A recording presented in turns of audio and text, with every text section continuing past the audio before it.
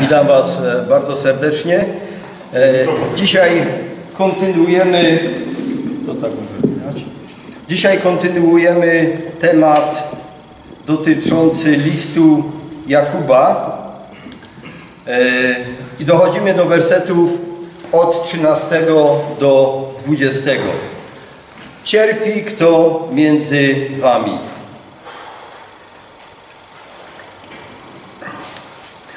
List Jakuba zaczyna się i kończy się fragmentami dotyczącymi cierpienia. Początek listu był taki.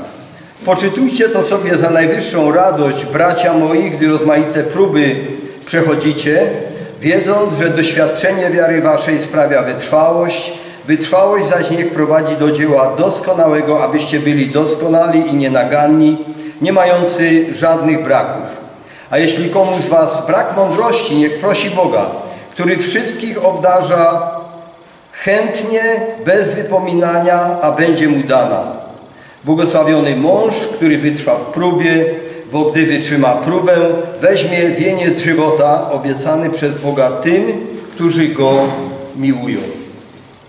I jest obietnica dla tych, którzy wytrzymają próbę różne przejdą różne doświadczenia. Ale dzisiejszy fragment mówi o tym, jaka ma być postawa wobec ludzi, którzy nie wytrzymali próby, którzy upadli na duchu i będziemy mówić o różnych przyczynach zniechęcenia, wyczerpania duchowego i jak takich ludzi, którzy upadli na duchu, przywrócić na nowo do użyteczności duchowej. Przeczytamy ten fragment, który mamy dzisiaj rozważać. Cierpi kto między wami? Niech się modli. Weseli się kto? Niech śpiewa pieśni. Choruje kto między wami? Niech przywoła starszych zboru i niech się modlą nad nim, namaściwszy go oliwą w imieniu pańskim. A modlitwa płynąca z wiary uzdrowi chorego i Pan go podźwignie. Jeżeli zaś dopuścił się grzechów, będą mu odpuszczone. Wyznawajcie tedy grzechy jedni drugim i módlcie się jedni za drugich, abyście byli uzdrowieni. Wiele może usilna modlitwa sprawiedliwego. Eliasz był człowiekiem podobnym do nas. Modlił się usilnie, żeby nie było deszczu i nie było deszczu na ziemi przez trzy lata i sześć miesięcy. Potem znowu modlił się i niebo spuściło deszcz i ziemia wydała swój plon, Bracia moi, jeśli ktoś spośród was zbaczy, zboczy od prawdy, a ktoś go nawróci, niech wie, że ten, kto nawróci grzesznika z błędnej drogi jego, wybawi duszę jego od śmierci i zakryje mnóstwo jego grzechów. Panie, pobłogosław nam rozważanie Twojego słowa. Pocieszaj nas, podnoś na duchu, otwieraj przed nami prawdy dotyczące Twojego Królestwa, jeśli trzeba, napominaj, byśmy wrócili na właściwą drogę i przyjęli właściwe postawy wobec tego, czego doświadczamy w życiu. W imieniu Jezusa się modlę. Amen. Poprzednie dwa fragmenty z piątego rozdziału, które żeśmy rozważali tydzień i dwa tygodnie temu, dotyczyły, pierwszy fragment dotyczył ostrzeżenia wobec ludzi, którzy żyli w zbytkach i przyjemnościach kosztem innych ludzi, którzy pracowali ciężko, a od tych bogatszych nie dostawali na czas wynagrodzenia i mieli problemy y, z, właściwie z, z przetrwaniem i z codzienną egzystencją. Jakub ostrzegał tych ludzi. Wiemy, że Jakub pisał ten list do dwunastu plemion izraelskich, pisał ten list do całego Izraela i wśród Izraelitów, wśród Żydów byli tacy, którzy wykorzystywali innych i żyli w strasznym grzechu. Jakub ich ostrzegał. I tak jak wcześniej prorocy ostrzegali przed e, niewolą babilońską, przed niewolą, która miała przyjść na Izraelitów, tak Jakub też teraz ostrzegał i straszny sąd nastąpił w 70 roku kiedy nastąpiło zburzenie Jerozolimy i świątyni. Jakub nie, dotek, nie doczekał tych czasów, dlatego że w 62 roku został ścięty. On i wielu innych chrześcijan w Jerozolimie. Kiedy Jerozolima i świątynia były zburzone przez Rzymian, w Jerozolimie zginęło ponad milion ludzi, z tego około 600 tysięcy to byli pielgrzymi przychodnie, którzy przybyli do Jerozolimy na święta wielkanocne. Potem w następnym fragmencie, w tym wersetach 7 do 12, który był rozważany tydzień temu, Jakub wzywa tych, którzy byli uciskani, którzy wzywa ich do cierpliwości i do wytrwałości, podając za przykład cierpliwości i rolników, i proroków. Rolnik musi być cierpliwy, posadzić ziarno i jest wiele rzeczy niezależnych od niego w tym momencie. On może posadzić ziarno, ale on już nie jest w stanie sprawić, żeby deszcze spadały, nie jest w stanie sprawić, żeby słońce świeciło, żeby były odpowiednie warunki, żeby nie było szkodników, żeby to ziarno wyrosło i wydało plon. Prorocy znosili przeciwności ze strony królów, kapłanów i ludzi, którzy nie chcieli żyć według przykazań Bożych.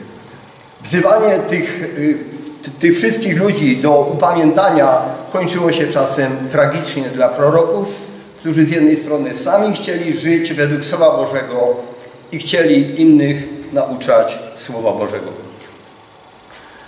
Pamiętacie Ezdrasza? On akurat e, nie, nie, nie skończył źle, ale Ezdrasz postawił sobie za cel zbadać zakoń pański sam osobiście i nauczać w Izraelu jego postanowień i praw. To było często takim motywem proroków, którzy chcieli odnowy życia duchowego, aby ludzie najpierw poznali, sami osobiście, on chciał zbadać zakon pański, a potem nauczać w Izraelu jego postanowień i praw. Ten poprzedni fragment mówił w wersecie 11 Oto za błogosławionych uważamy tych, którzy wytrwali. I za przykład wytrwałości jest podany Job w tym fragmencie. Ale co z tymi, którzy nie wytrwali? Którzy upadli na duchu. I ten właśnie fragment, który dzisiaj rozważamy, mówi o tym, jaka ma być nasza postawa wobec tych, którzy z powodu różnych przeciwności upadli na duchu. Jakub tutaj odwołuje się do trzech przyczyn upadania na duchu. Przeciwności i prześladowania, brak wdzięczności, grzech i fałszywe nauki. Zaraz to wszystko w tym tekście zobaczycie. E, wprowadzam takie terminy makrotymia, cierpliwość, z greckiego tekstu, z greckie, greckie słowo makrotymia, to jest cierpliwość, wyrozumiałość, wielkoduszność, powolność w odwecie. Bo kiedy cierpimy z ręki drugich ludzi, to mamy ochotę oddać, bo właśnie cierpliwość, to, to cierpienie, które, o którym tutaj w tym tekście jest mowa, greckie słowo kakopateia, w Nowym Testamencie w tej formie występuje jako rzeczownikowej, występuje tylko jeden raz. To nie jest byle jakie cierpienie, to jest cierpienie znoszenie, powodowane złośliwością, wrogością, nienawiścią, in, ze strony innych ludzi z tego powodu, że my jesteśmy wyznawcami Jezusa Chrystusa. I o taką cierpliwość i o takie cierpienie chodzi tutaj w tym tekście. Że mamy wytrwać w tych doświadczeniach, kiedy jesteśmy, kiedy doznajemy sprzeciwu, różnego rodzaju sprzeciwu i ucisku ze względu na to, że stajemy, chcemy żyć w zgodzie ze Słowem Bożym. I teologia sukcesu nie akceptuje tej perspektywy. Za chwilę do tego również jeszcze nawiążę. W formie czasownikowej to słowo występuje trzykrotnie w Nowym Testamencie. Znosić ból z powodu złośliwego usposobienia innych, doznawać bolesnych trudności, cierpienia, które wydają się być niepowodzeniem, porażką i prześladowania należą do takiej kategorii przeciwności, prześladowania. I problem z naszej strony, kiedy doświadczamy przeciwności, Nasz problem przyjąć wobec tego wszystkiego właściwą postawę. Jeżeli przyjmujemy wobec tych rzeczy właściwą postawę, to my odnosimy zwycięstwo. zwycięstwo. My jesteśmy zwycięzcami. To zresztą niektóre teksty jasno nam pokażą. Apostoł Paweł w liście do Koryntian, w drugim, rozdział, w drugim liście, czwarty rozdział pisze Albowiem nieznaczny chwilowy ucisk przynosi nam przeogromną obfitość wiekuistej chwały. Chwilowy ucisk, to co tutaj na życiu, w życiu na ziemi doświadczamy, doświadczamy, to można nazwać, to jest chwila w porównaniu z wiecznością, którą Pan ma, ma, dla nas. Popatrzcie, nieznaczny chwilowy ucisk kształtuje w nas coś, co ma w Bożych oczach wieczną wartość. I my musimy poznać tą Bożą perspektywę dla naszego cierpienia. Jeżeli tej perspektywy nie znamy, nie rozumiemy, to się wobec każdego doświadczenia, wobec każdego bólu, każdego cierpienia będziemy buntować. Jeżeli odkryjemy, że Pan Bóg przez różne doświadczenia kształtuje w nas coś, co ma wieczną wartość, ale o wiele łatwiej przychodzi nam znosić różne doświadczenia. I ten tekst, e, który tutaj akurat, e, to co Paweł napisał w liście do Koryntian, koresponduje również z kazaniem na górze. Błogosławieni, którzy cierpią prześladowanie z powodu sprawiedliwości, albowiem ich jest Królestwo Niebios. Oszałamiające. Popatrzcie się, jaka przeciwność. Tutaj ze względu na sprawiedliwość ze strony ludzi doznajemy przeciwności, prześladowań, ale mamy perspektywę. Do nas należy Królestwo Niebios. Błogosławieni jesteście, gdy wam złorzeszyć i prześladować was będą i kłamliwie mówić na was wszelkie zło ze względu na mnie. Radujcie się i weselcie się, albowiem zapłata wasza obfita jest w niebie. Tak bowiem prześladowali proroków, którzy byli przed wami. Popatrzcie się znowu. Kiedy wam złorzeczyć będą, kiedy was będą prześladować, kłamliwie mówić na was wszelkie zło, kłamliwie mówić na was wszelkie zło i to się zdarza, popatrzcie się, Pan Jezus mówi, zapłata wasza jest w niebie. I znowu, jeżeli znamy tą perspektywę, to o wiele łatwiej przyjąć obelgi, złorzeczenia, kiedy ludzie o nas źle mówią, o wiele łatwiej właśnie przyjąć te ciosy. Ja pamiętam, jak w wojsku, kiedy, były, kiedy byłem w wojsku, jeden oficer złorzeczył, bluzgał mi najbardziej, no, wszystkimi przekleństwami, które są w języku polskim. I ja mu powiedziałem, obywatelu, kapitanie, to, że kapitan mi tak bluźni i złorzeczy, przypomniało mi taki tekst. Błogosławieni jesteście, kiedy wam, ludzie, kiedy wam ludzie złorzeczą i źle o was mówią, bo Duch Święty mieszka w was. To dopiero się wściekł, a dla mnie to była radość, świadomość tego, że, że Bóg wtedy mi przypomniał to słowo. Nie martw się, że On bluźni Tobie. Pan Bóg ma o Tobie inne myśli. Mamy kolejne teksty. Nic nie odłączy nas od miłości Chrystusowej. Któż nas odłączy od miłości Chrystusowej? Czy utrapienie, czy ucisk, czy prześladowanie?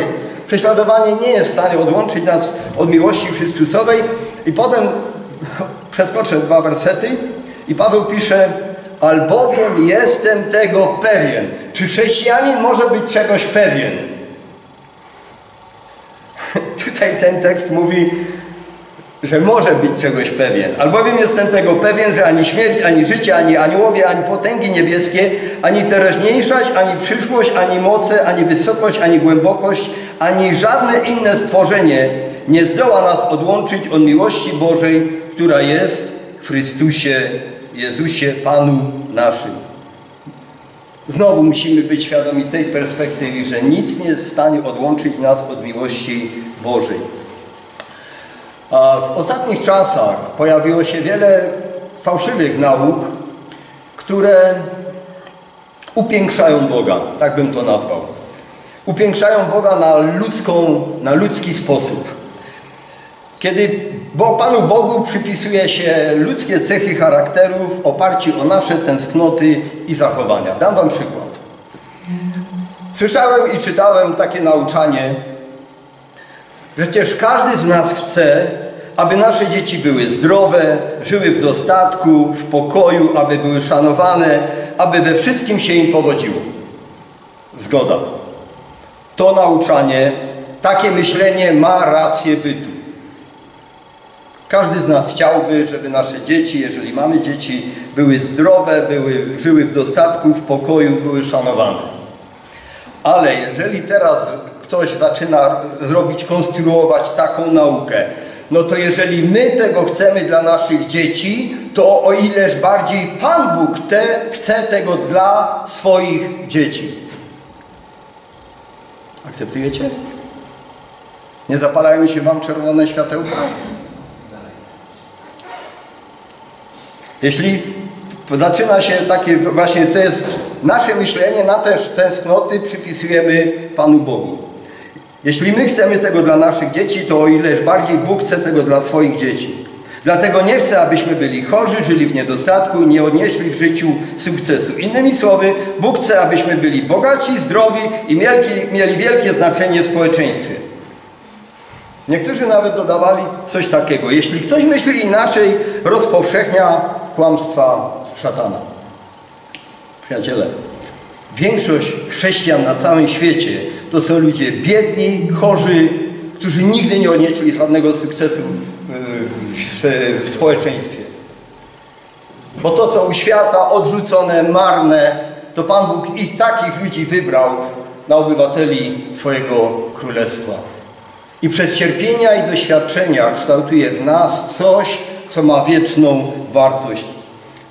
Bóg ma inne cele. Jego drogi to nie drogi nasze, Jego myśli to nie myśli nasze. I chociaż my chcemy tych rzeczy dla naszych dzieci, to Pan Bóg wie, co jest dla nas dobre, aby przygotować nas do wiecznego Bożego Królestwa. Tu na ziemi będzie ból i cierpienie, tam wieczności bólu i cierpienia już nie będzie. Nie będzie wojen. Nie będzie wojen, które nam znowu w tej chwili grożą. I Pan Bóg, jeżeli chce w nas ukształtować owoc ducha, miłość, radość, ciepło, pokój, cierpliwość, uprzejmość, dobroć, wierność, łagodność, opanowanie, to czasem musi po, po, do, dopuścić, pozwolić, abyśmy byli doświadczani przez różne y, uciski, przeciwności, y, bóle.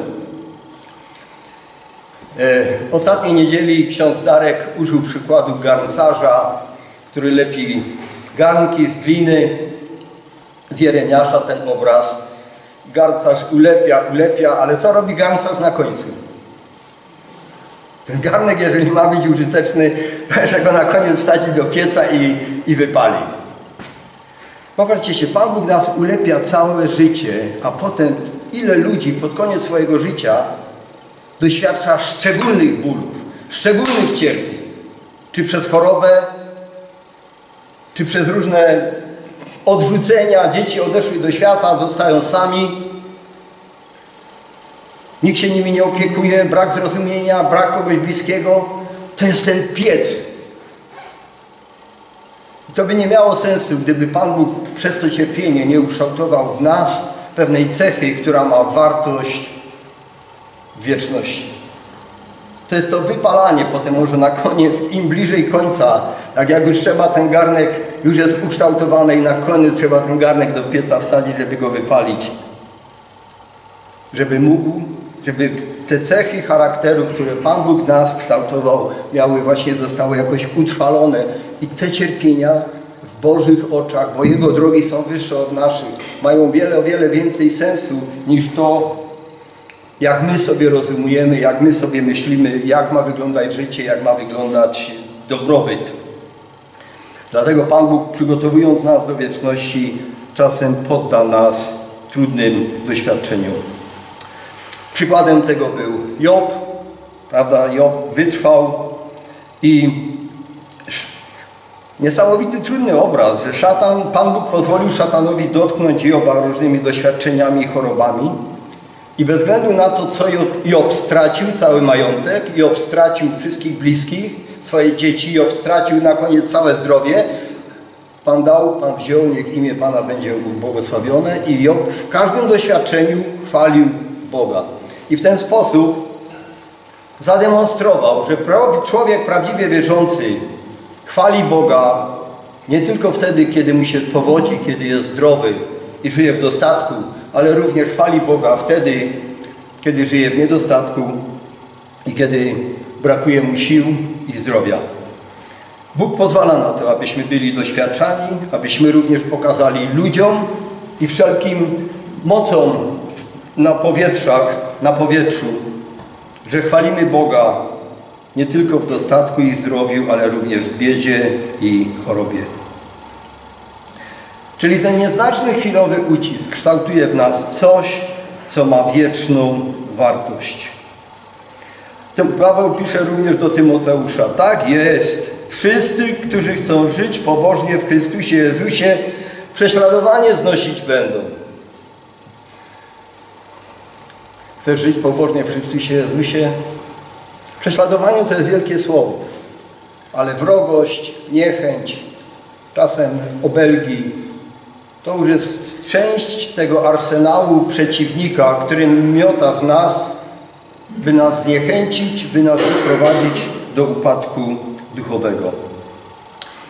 To słowo kakopateo w formie czasownikowej występuje trzy razy w Nowym Testamencie, dla której cierpię niczym złoczyńca. Paweł pisze dla Ewangelii, cierpi jako złoczyńca, 2 e, Tymoteusz 2,9, 2 Tymoteusz 4,5, ale Ty bądź czujny we wszystkim, cierp.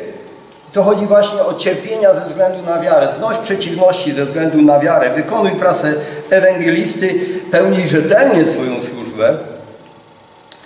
I teraz trzeci raz jest użyte w Jakuba 5,13. Cierpi ktoś między wami? Znosi ktoś przeciwności między wami? I co ma robić?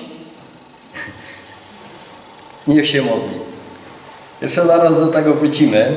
Ale Paweł pisał w 2 Koryntian 12:10 Dlatego mam upodobanie w słabościach, w zniewagach, w potrzebach, w prześladowaniach, w uciskach dla Chrystusa, albowiem kiedy jestem słaby, wtedy jestem mocny. Paweł mógł tak napisać, dlatego że Paweł, on rozumiał tą Bożą perspektywę dla cierpienia, że ucisk kształtuje w nas coś, co ma wieczną chwałę. A czy wszyscy to rozumieją wokół nas? Czy wszyscy chrześcijanie rozumieją tą perspektywę? Nie. I dlatego są mamy te teksty, że, które nam o tym wszystkim przypominają, abyśmy poznawali, jaka jest Boża perspektywa wobec cierpienia i jak podejść do ludzi, którzy upadli na duchu, którzy zmagają się z przeciwnościami, są wyczerpani, zniechęceni. Paweł też sam doświadczył zniechęcenia na wiele lat, kiedy z Jerozolimy, kiedy na początku po swoim nawróceniu głosił Ewangelię w Jerozolimie, a potem, kiedy heleniści chcieli go zabić, apostołowie powiedzieli mu, wiesz co, wróć na chwilę do Tarsu, do swojej, idź w swoje rodzinne strony. I potem, kiedy Barnaba go szukał w Tarsie, to go musiał długo szukać, zanim go tam znalazł i przyprowadził go z powrotem wtedy do Antiochii. I Antioch od Antiochii zaczyna się praca misyjna apostoła Pawła. Ale przez kilka lat Paweł tam w Tarsie odpoczywał. Nawet zboru tam nie założył. Nic nie było mowy o tym, żeby Paweł po powrocie z Jerozolimy założył w Tarsie zbór. Nic tam nie ma, żadnej zmianki. A słowo, które użyte jest w Nowym Testamencie, że Paweł, że Barnaba poszedł odszukać Pawła, to pilnie go musiał szukać. Gdyby tam, to Batars nie był wielkim miastem, a musiał go jednak tam pilnie szukać, żeby go znaleźć. Dlatego, że Paweł również doświadczył takiego zniechęcenia i miał swojego Barnabę, męża pocieszenia, który go odkrył, znalazł i przyprowadził z powrotem do Kościoła. My może też powinniśmy wykonać służbę, taką służbę Barnaby względem niektórych, którzy kiedyś byli mocno zaangażowani w sprawy Kościoła, w sprawy Bożego Królestwa, ale potem ich coś, potem oklapli, coś ich zniechęciło, coś ich e, e, dotknęło. Może usłyszeli jakieś złe słowo, jakieś niewłaściwą reakcję. Wycofali się, zrezygnowali i siedzą w swoich domach i trzeba byłoby ich pilnie szukać, żeby na nowo ich przyprowadzić do, do społeczności i do służby.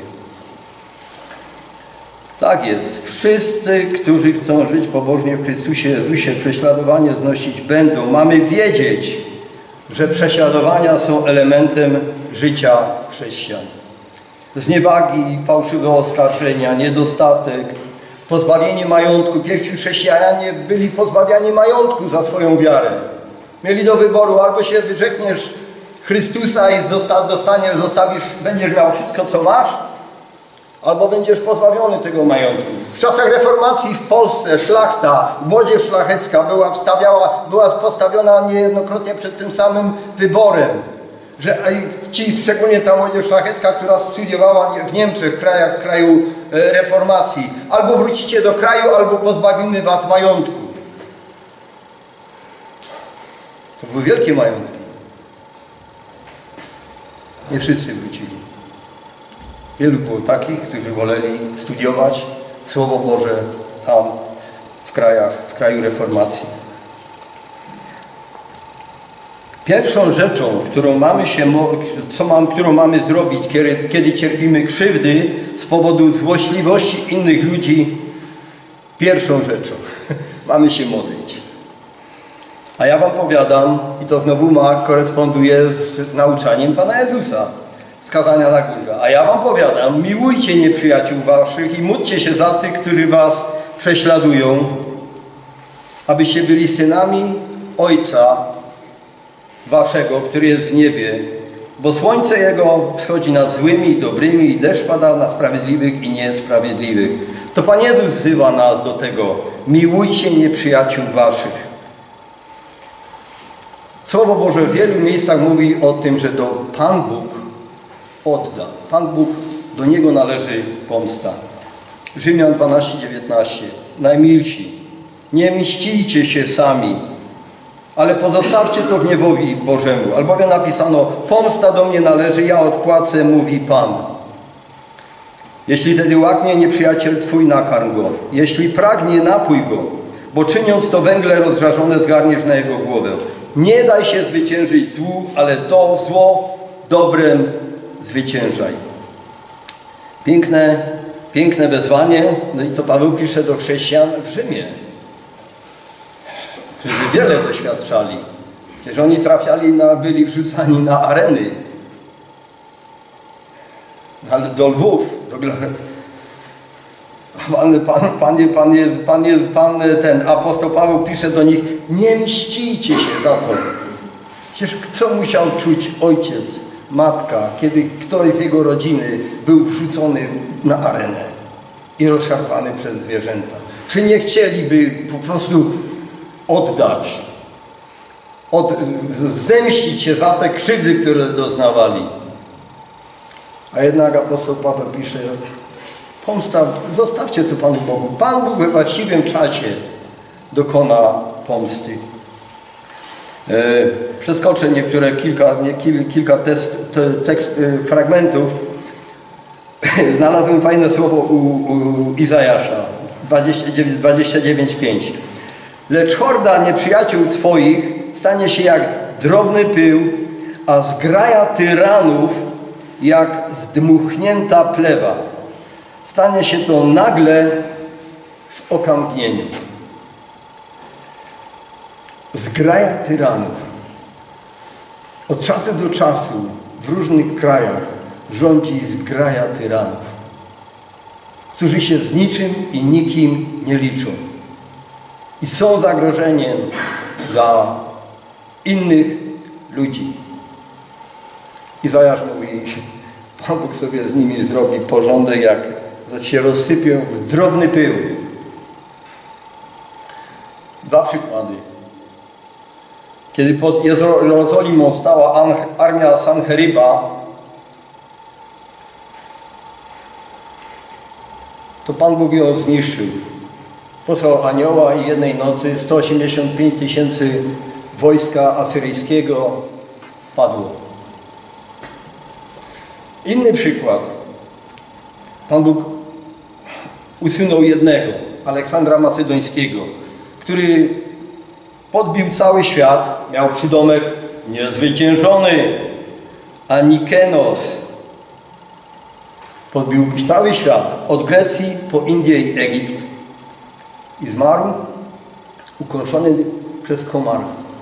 Popatrzcie się, tacy władcy to mają straż przyboczną. Pilnują ich, strzegą ich, że się nikt nie zbędą odległość do nich. Taki malutki komarek. I Aleksander Wielki, który podbił cały świat, został pokonany przez malutkiego komara. I wielcy władcy też umierali na różne choroby, chociaż im się wydawało, że będą tutaj panami na wieki.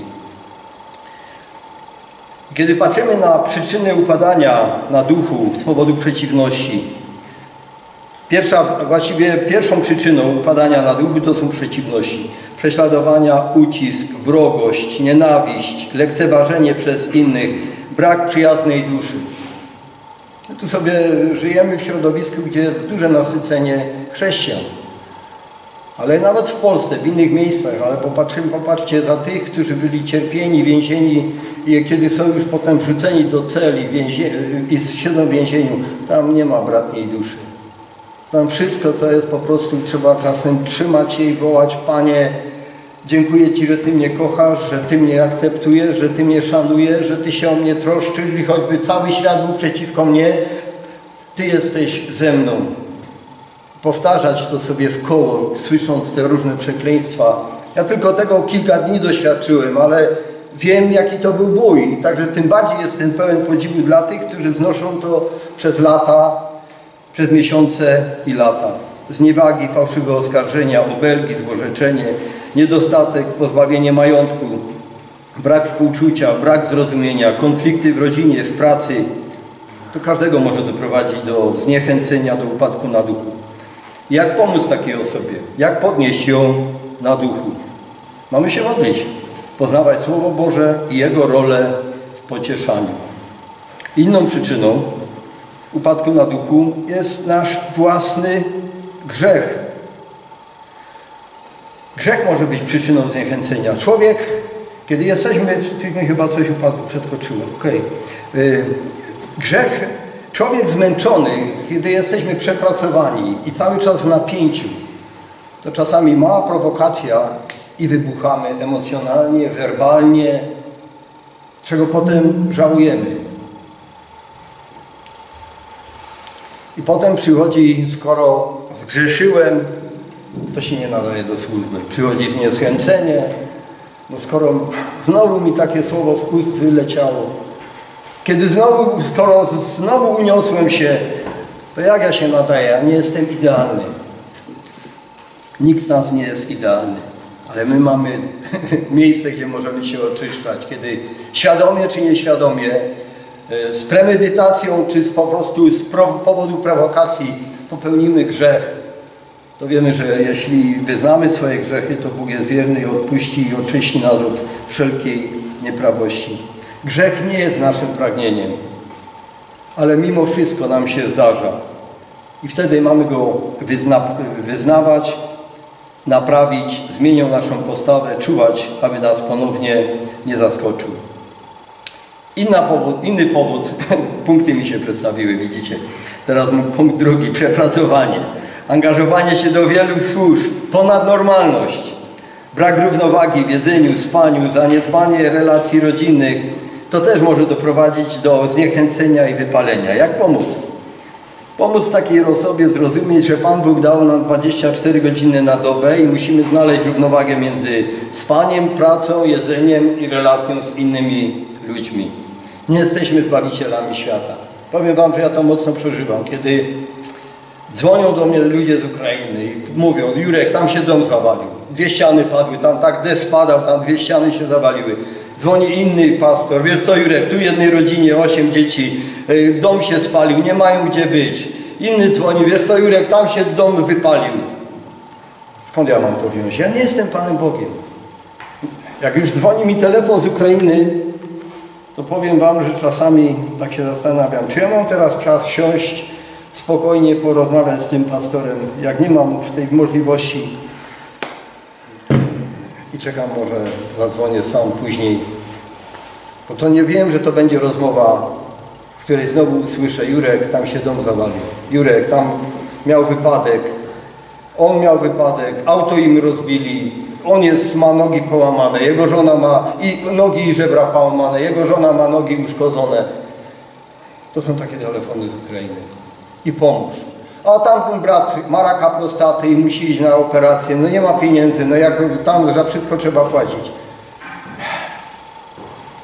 I trudno jest odpowiedzieć na takie rzeczy. I, I po prostu uświadomiłem sobie, no nie jestem zbawicielem świata, nie jestem w stanie wszystkim ludziom pomóc. I po prostu zaczynam być taki selektywny. Ktoś może pomyśleć, o, obojętny. Nie jestem obojętny, ale nie jestem w stanie wszystkim pomóc. Jak Pan Jezus podszedł do ludzi, którzy byli zniechęceni i przygnębieni? Pamiętacie, szło dwóch uczniów do Emaus i rzekł do nich, cóż to za rozmowy idąc prowadzicie z sobą? I przystanęli przygnębieni.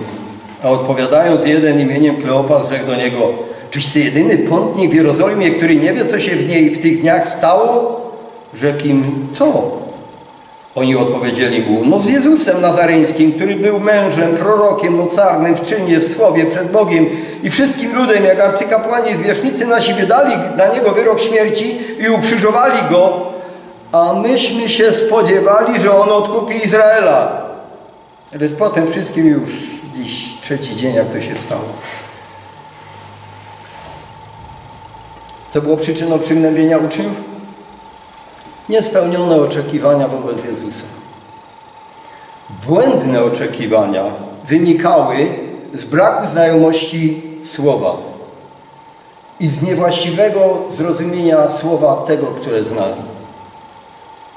Wymyślili sobie, nie na podstawie PiS wymyślili, że on odkupi Izraela, ale że to odkupienie będzie polityczne, że wyzwoli ich z niewoli Rzymian. Nie rozumieli koncepcji wyzwolenia duchowego.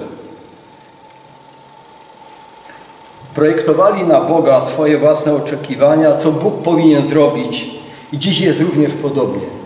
Powiem Wam, wiele osób jest zniechęconych Panem Bogiem, dlatego, a ja się spodziewałem, i znowu powiem na Ukrainie, te zbory romskie. Ktoś się nawraca i przychodzi borok, biedok, przychodzi do zboru, gdzie są sami borocy i biedocy i on teraz oczekuje, że ci borocy i biedocy mu pomogą, że on stanie na własne nogi. On się nie skupia na tym, że Pan Bóg chce mu grzechy przebaczyć, ale przychodzi do kościoła z myślą o tym, że tutaj ludzie mu teraz powinni pomóc, wybudować dom, lepszy dom, y, może nawet auto kupić i jeszcze co innego. Po jakimś pobycie, okresie czasu w kościele nikt mu tych pieniędzy nie daje, nadal jest biedokiem, nie cieszy się z tego, że Pan Bóg mu chce grzechy przebaczyć. Nie, to, to on chce mieć lepszy dom. I Pan Bóg mu to powinien dać. No, niestety Ewangelia sukcesu też tam do nich dociera i kiedy to się nie dzieje, rozczarowani Panem Bogiem wycofują się i nie chcą już więcej nic mieć wspólnego z chrześcijaństwem. Ludzie nie znają Słowa Bożego, to co znają sobie po swojemu interpretują i potem są rozczarowani Panem Bogiem, że Pan Bóg nie spełnił ich oczekiwań. Brak znajomości Słowa i błędne zrozumienie tego, co nawet wiedzą.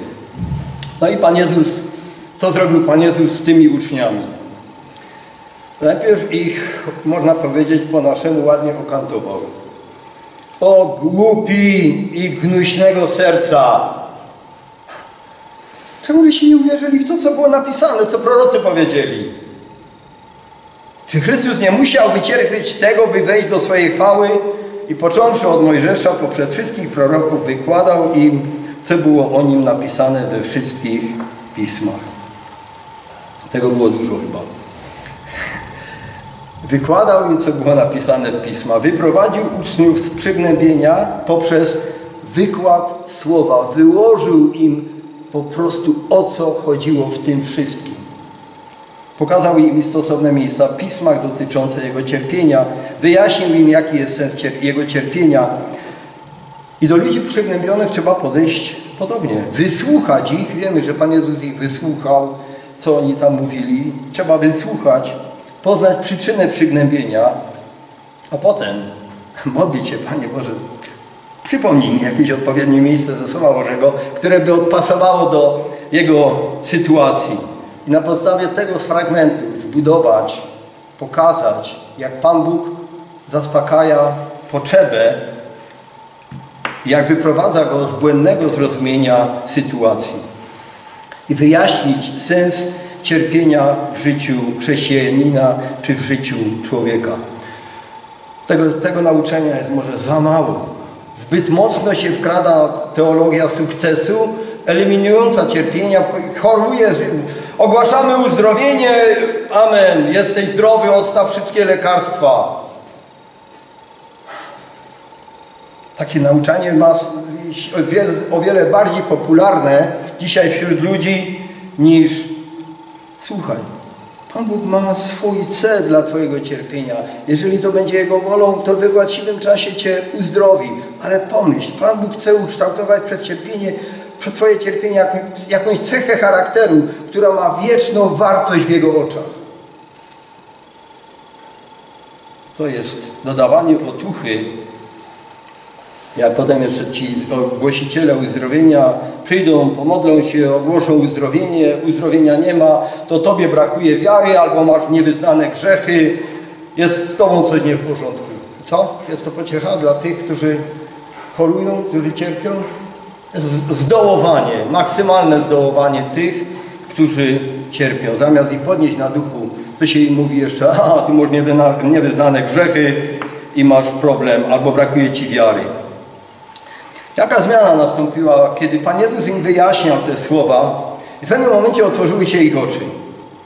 W tym momencie Pan Jezus, znaczy otworzyły się oczy na tyle, że zrozumieli, zobaczyli, a to jest Jezus. Nie ma go, zniknął. Lecz On znikł sprzed ich oczu i rzekli do siebie, czy serce nasze nie pałało w nas, gdy mówił do nas w drodze i pisma przed nami otwierał?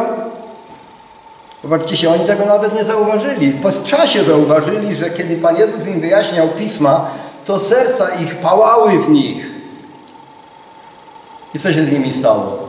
Przyszli najpierw, szli do Emaus przygnębieni, a teraz wstawszy, wstali jeszcze tej samej godziny polecieli z powrotem do Jerozolimy, aby innym mówić, on naprawdę zmartwychwstał. Od przygnębienia do entuzjazmu od zniechęcenia do działania, by innym mówić o Jezusie. Co wywołało przemianę w sercach tych uczniów? Słowo Boże. Właściwie wyjaśnione Słowo Boże spowodowało te wielkie przemiany w ich sercach.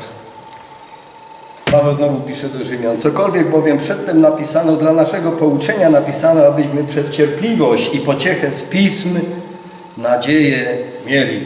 Słowo Boże służy między innymi do pocieszania i to jest niesłychanie ważna rola Słowa Bożego. Pamiętacie jak Jeremiasz wołał pocieszajcie, pocieszajcie, pocieszajcie mój lud.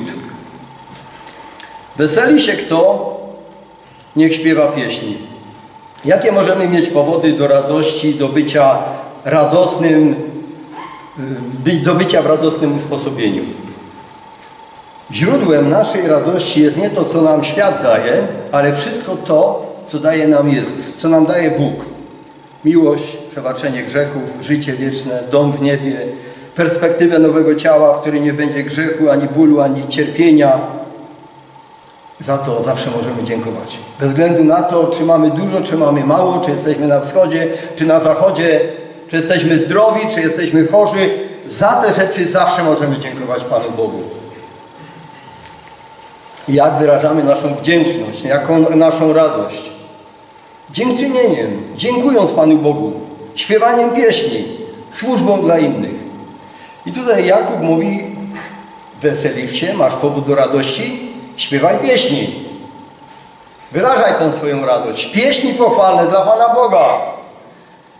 I moja obserwacja jest taka, że ludzie, którzy nie są wdzięczni, brak wdzięczności połączony z różnymi przeciwnościami, jest bardzo szybką drogą do przygnębienia, depresji, rozgoryczenia, narzekania. To z kolei sprawia, że przestajemy być użyteczni duchowo. Nie pocieszamy innych, nie ponosimy ich na duchu, skupiamy się, skupiamy się na sobie jesteśmy stale niezadowoleni. Ciągle nam czegoś brakuje. Jeżeli skupimy się na tym, co Bóg nam daje, zawsze mamy powód do radości. Ja pamiętam kiedyś na społeczności u Henka Macha pokazałem film z Ukrainy, jak tam ludzie żyją. I kiedy skończyłem, ksiądz Heniek zaproponował, no to będziemy się modlić. Stali i jedna starsza siostra, już koło 80, zaczęła modlitwą, taką modlitwą. Panie Boże, ja Cię przepraszam, że ja zawsze narzekałem. I dziękuję Ci, że mieszkam w Polsce. I dziękuję Ci, że mam elektryczność, że mam ciepłą wodę, że mam łóżko ciepłe, że mam ciepło w domu, że mam lekarstwa. I zaczęła dziękować za mnóstwo rzeczy tych materialnych, które miała, które tamci borocy na Ukrainie nie mieli. A gdyby do tego dołożyć, zacząć dziękować Panu Bogu za te rzeczy, które Pan Bóg nam daje, za błogosławieństwa, to zawsze mamy powód do wielkiej radości. I apostoł Piotr nawet uznał za cel, żeby przypominać o tym y, ludziom. Dlatego zamierzam zawsze przypominać Wam te sprawy, chociaż o nich wiecie i utwierdzeni jesteście w prawdzie, którą macie. Uważam zaś za rzecz słuszną, dopóki jestem w tym ciele, pobudzać Was przez przypominanie. Niektóre rzeczy trzeba sobie stale na nowo przypominać. Kolejna przyczyna. Jest tutaj takie, choruje ktoś wśród Was i w greckim tekście to słowo choruje to jest asteneia. To jest bardzo ciekawe słowo, bo one nie oznacza choroby. Ona oznacza bezradność, bezsilność wobec zaistniałej sytuacji. To może być bezradność wobec choroby, ale nie choroba. I ludzi w czasach Jezusa ludzie byli bezradni wobec różnych chorób, z którymi dzisiaj medycyna sobie daje radę jedną tabletką, jednym cięciem, usunięciem wyrostka robaczkowego. I to oznacza bezradność, bezsilność nie tylko wobec chorób, ale również wobec różnych przeciwności, wobec różnych sytuacji. I ten tekst należałoby przetłumaczyć, jest ktoś bezsilny, bezradny wśród Was, a tutaj ta bezradność i bezsilność wynika z upadania na duchu, głównie z powodu przeciwności, o których była cały czas mowa. Jest ktoś bezsilny, bezradny między wami? Tak by to należało przetłumaczyć. I co ma ten człowiek zrobić? No, od werset 11 mówił, błogosławiony, oto za błogosławionych uważamy tych, którzy wytrwali. A w 14 wersecie mamy już mowę o tych, którzy nie wytrwali, którzy upadli na duchu, są bezradni i bezsilni. I co teraz mamy z tymi ludźmi zrobić? Niech przywoła starszych zboru i niech się modlą nad nim, namaściwszy go oliwą w imieniu pańskim. Jeśli ma przywołać starszych zboru, to musi należeć do zboru, w którym są starsi. I ma szanować ten porządek w Kościele. Jedna autorka, która była zwolenniczką ogłaszania uzdrowienia, niestety już nie żyje, pisała ma przywołać starszych zboru, to znaczy ma przywołać te osoby, które sama, czy sam uważa za autorytet duchowy. I, i, i, i. Czerwone światełka migają. Co Biblia mówi? Masz przywołać osoby, które Ty uważasz za autorytet duchowy, czy masz przywołać osoby, które są starszymi zborów? Tak jasno mówi. Ma przywołać starszych zborów. Nie tych, których ja sobie uważam za autorytet duchowy. Druga sprawa jest, że starsi mają wiedzieć, jaka jest ich rola w zborze. Jeśli ktoś jest bezradny, bezsilny, przygnębiony i chce, prosi o pomoc starszych, to oni mają wiedzieć, do co do nich należy, należy. Mają się o Niego modlić, mają Go namaścić oliwą. Prosta instrukcja. Co tu będziemy interpretować? Prosta instrukcja ze Słowa Bożego. Pan Bóg honoruje posłuszeństwo wobec prostych instrukcji, ale starsi mają wiedzieć, co mają zrobić wobec ludzi w zborze, którzy proszą o modlitwę. mają się, mają się o niego modlić i na pewno taka modlitwa musi być poprzedzona rozmową. Jeżeli ktoś upadł na duchu i prosi o modlitwę, to jakbym przyszedł do niego, to bym najpierw zapytał, powiedz mi, co, co się stało. I byłaby długa rozmowa, potem byłoby próba pocieszenia, a potem na końcu byłaby modlitwa o podniesienie na duchu. Może włącznie z namaszczeniem oliwą, jeżeli by to wchodziło w rachubę. Modlitwa płynąca z wiary uzdrowi chorego i Pan go podźwignie. I tutaj znowu mamy problem z tłumaczeniem, dlatego że to słowo, które jest przetłumaczone chorego, kamnonta, wcale nie oznacza człowieka chorego fizycznie. To, to słowo w tekście jest użyte tylko dwa razy w Nowym Testamencie. Drugi raz jest użyte w Hebrajczyków 12:3 kamno, rzeczownik zostało przetłumaczone jako upadać. Raz jest użyte w formie rzeczownikowej, kamnonta, raz jest użyte w formie czasownikowej, kamno. I zostało w, Hebrajczyków 12:3 oznacza tego, który upadł na duchu, abyście nie upadali na duchu. I kontekst jasno komunikuje, że chodzi o zmagania duchowe. Jeżeli w Hebrajczyków 12:3 chodzi o to, abyście nie upadli na duchu, to w Jakuba również ten tekst, to słowo powinno być przetłumaczyć, że modlitwa płynąca z wiary podniesie na duchu tego, który upadł na duchu. O to tutaj chodzi. Tu nie chodzi o uzdrowienia fizyczne. Tutaj chodzi o podniesienie na duchu tych, którzy ze względu na najróżniejsze przeciwności upadli na duchu, są wyczerpani, zniechęceni i tak. I tym, który go podźwignie, to nie jesteśmy my, ale Pan, który użyje modlitwy starszych, Słowa Bożego, które musi być wyjaśnione takiemu człowiekowi i również wyznanie grzechów. Jeżeli dopuścił się grzechu, jeżeli przyczyną bezradności duchowej, bezsilności duchowej jest grzech, to ten grzech musi być wyznany. Jeżeli zaś dopuścił się grzechów, będą mu odpuszczone. Jak mówiłem, przyczyną upadku na duchu może być grzech. I w obliczu przeciwności łatwo zgrzeszyć z powodu prowokacji czy z powodu chęci odwetu. I grzech kala nasze sumienia, Poczucie winy paraliżuje naszą gotowość i zdolność do służby i wyznawanie grzechów jest konieczne do odzyskania użyteczności duchowej.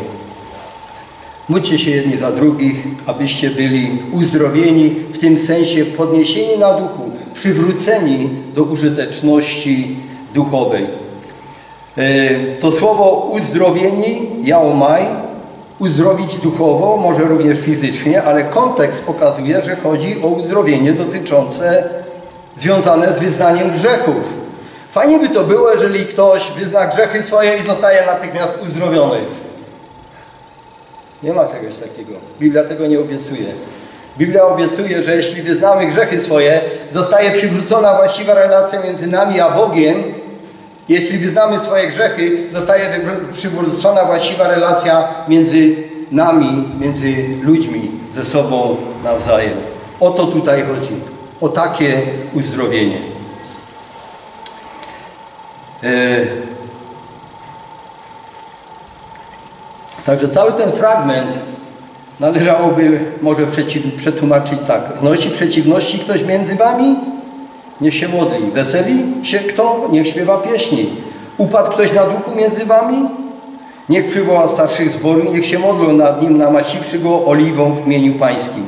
A modlitwa płynąca z wiary uzdrowi tego, który upadł na duchu i Pan go podźwignie. Jeżeli zaś dopuścił się grzechu, będą mu odpuszczone. Uzdrowi w sensie podniesie na duchu i, przywróci go do użyteczności y, duchowej. I tu na koniec jeszcze historia Eliasza, którą już e, no, bardzo szybko już przelecimy, przyjrzymy się. Eliasz się modlił, bo tu jest, mamy do czynienia z fałszywymi naukami. Jak fałszywe nauki mogą być przyczyną nieużyteczności duchowej. Izrael przyjął naukę, że Baal jest Bogiem, Baal daje deszcze, Baal daje nam, dzięki Baalowi mamy dobrobyt. No to Eliasz zaczął się modlić, Eliaszowi się ta nauka nie podobała. Także modlił się o to, żeby przez 3,5 roku nie było deszczu. Chciał doprowadzić kraj do totalnej ruiny gospodarczej. Dlaczego? Bo ludzie ufali, że to Baal daje deszcze, Baal daje dobrobyt i on uderza jakby się kierą w ten system wartości. O to chodziło w jego modlitwie. Aby ludzie przez 3,5 roku on się musiał ukrywać, bo by go ludzie zlinczowali. Dopiero po 3,5 roku ludzie byli gotowi słuchać o tym, że jest Bóg. Że to nie Baal, ale że to Bóg daje deszcze. I Pan Bóg czasami, czy mamy odwagę modlić się o to, że ludzie, którzy, że aby ludzie, którzy odchodzą od Boga, aby Pan Bóg im zburzył to, w, co, to, w czym zaczęli podkładać swoją ufność. O, ja się są wszystkiego dorobiłem. Mi tam Pan Bóg nie jest potrzebny, ja sobie radę dam. I ludzie budują swoje systemy wartości, w których eliminują Pana Boga. Modlitwa Eliasza doprowadziła do takiej sytuacji, że najpierw oni doświadczyli, przekonali się, że to, w czym pokładali ufność, jest całkowicie bezużyteczne, że im nie pomaga i dopiero potem, po tym okresie czasu byli gotowi otworzyć swoje serca i powiedzieć, słuchać o Bogu i w końcu wyznali, tak, Pan jest Bogiem, Pan jest Bogiem. Kiedy zobaczyli ten pojedynek Eliasza z tymi sługami, kap kapłanami Baala, kiedy deszcz, ogień z nieba spadł i strawił ofiarę, którą złożył Eliasz i potem moment później, kilka chwil później przychodzi ulewa i przychodzi deszcz i przychodzi uzdrowienie dla tego kraju. Także mamy się również modlić o grzeszników, którzy, o ludzi, którzy zeszli na błędną drogę z powodu błędnych nauk i stracili użyteczność dla Boga. Pozwólcie, że zakończę to krótką modlitwą. Panie, Ty znasz, jakich przeciwności doświadczamy. Posil nas, pociesz nas. Pokaż nam właściwe teksty w Biblii, które mogą być pomocne w zrozumieniu sytuacji, w których jesteśmy i jakie cele chcesz osiągnąć w nas, dopuszczając na nas różne doświadczenia. Panie, chcemy naszym życiem, naszymi myślami, naszymi słowami, naszymi czynami, naszymi emocjami oddawać Tobie chwałę. Uzdolnij nas do tego, Panie, w tych czasach niesłychanie trudnych, kiedy wokół nas wiele grzechu, wiele zła, wiele prowokacji. Panie, daj nam to, tą łaskę, byśmy zło dobrem zwyciężali. Modlę się o to w imieniu Jezusa. Amen.